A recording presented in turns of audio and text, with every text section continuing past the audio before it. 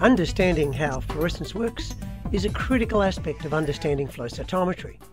This tutorial will try to give you the fundamentals of fluorescence and the difference between excitation and emission.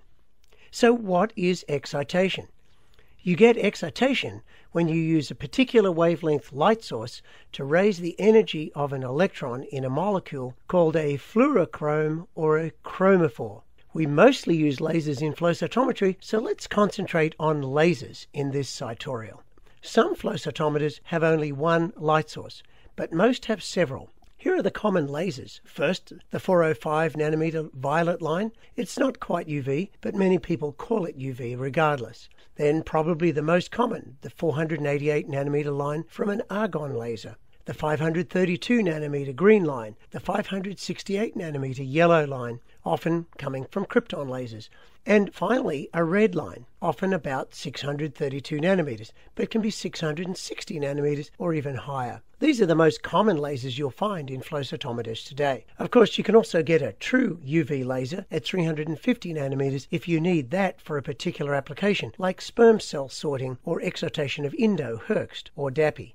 Remember that the excitation wavelength in flow cytometry is always lower than the emission wavelength, since nonlinear systems are not common in this field. Excitation is when we use one wavelength of light source to raise the energy of an electron to an excited state in a chemical called a fluorochrome.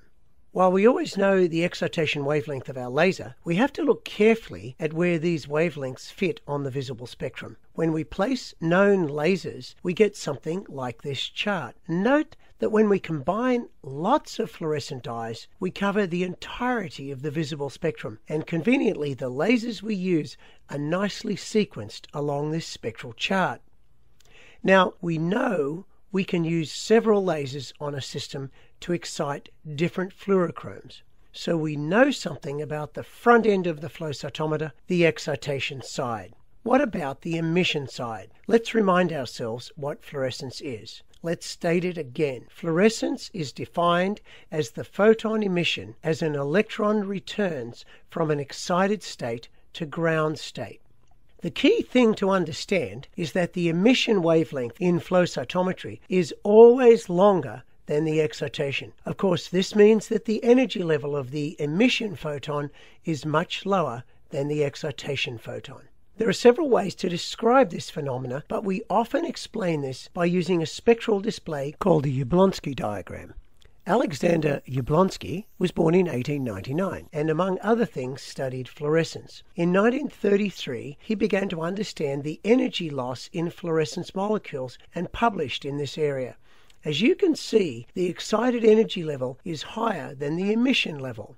The loss of energy when a molecule returns to ground state is reflected in the emission being a wavelength sometimes tens or more nanometers lower than the excitation line. Here's another way of looking at Jablonski's diagram, but the result is just the same. Whatever the wavelength of the excited molecule is, the emission will be lower in energy and higher in wavelength. There are lots of other ways for molecules to lose energy, but for the moment we'll just focus on fluorescence.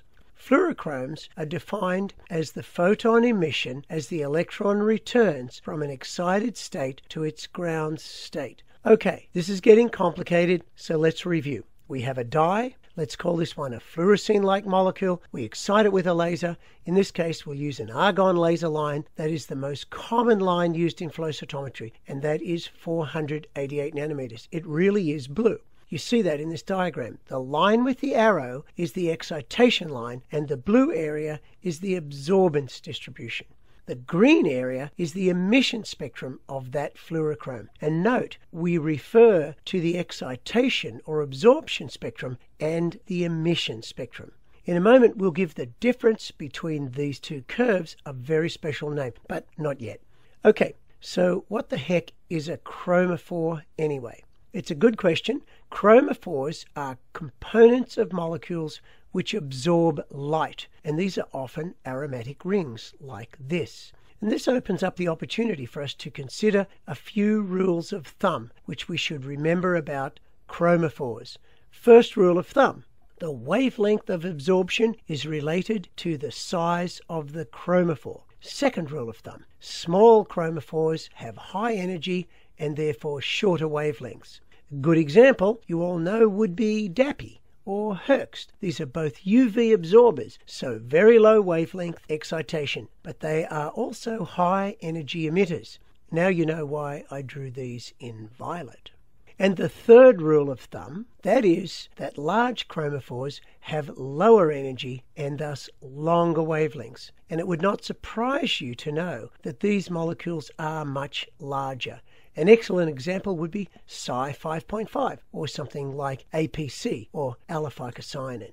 Okay, time for a review again and some new information. First, some molecules have an absorption profile that allows them to change states. Here is a common dye. You see it can have an odd shape. Now, let's add the emission profile. Okay, we saw this before, but let's take a look at each profile. If we drew a line at the point of each profile where there's a maxima, we would see two lines. And if we looked at the difference between the two maxima, we would have identified Stokes' shift. By now, I'm sure you're expecting me to draw a picture of George Stokes, who lived from 1819 to 1903. The Stokes shift, named after George Stokes, provides another rule of thumb. The Stokes shift is the energy difference between the highest energy peak of the absorbance and the highest energy of the emission peak.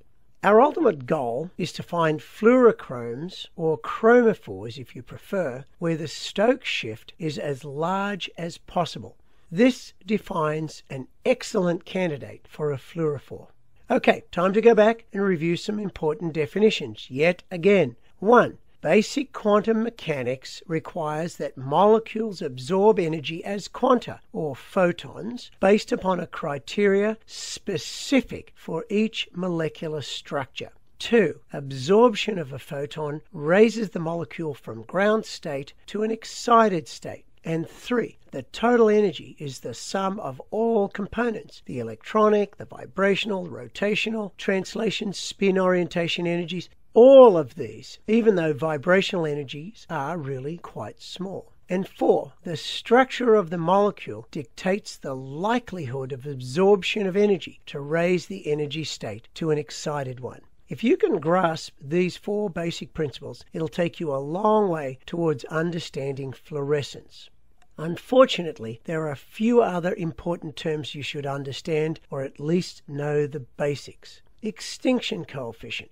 This refers to a single wavelength, usually the absorption maximum. The cross sectional area of a molecule determines how efficient it will absorb photons quantum yield. This is a measure of the integrated photon emission over the fluorophore spectral band.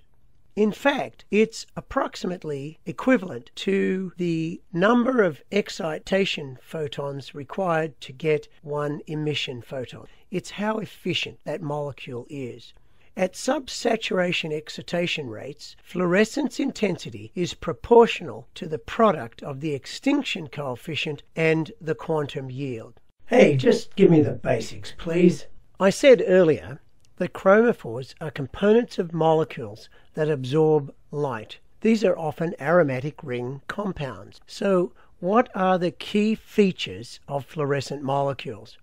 Here are the take home messages you need a large extinction coefficient at the region of excitation. You need a high quantum yield. You would like to have an optimal excitation wavelength for the light source that you have. In terms of photostability, we don't want the molecule to break down easily. And the excited state lifetime needs to fit with the detection system capability. And finally, there needs to be minimal perturbation by the probe. That means it has to have low toxicity and the probe itself does no damage to the biology we are observing. These are the key features that lead to good fluorescent molecules. So keep this short citorial in mind when you think about your next experiment and ask your colleagues if they understand all this. Okay, I can hear reactions already. You thought you were going to get a tutorial on FITC and PE and Cy 5. Well, in fact, you really did. It's just that I explained it in terms you should really understand, as well as why these molecules react the way they do. And that's the goal of this tutorial. And you got it all in 10 minutes compared to the regular 50 minute class lecture.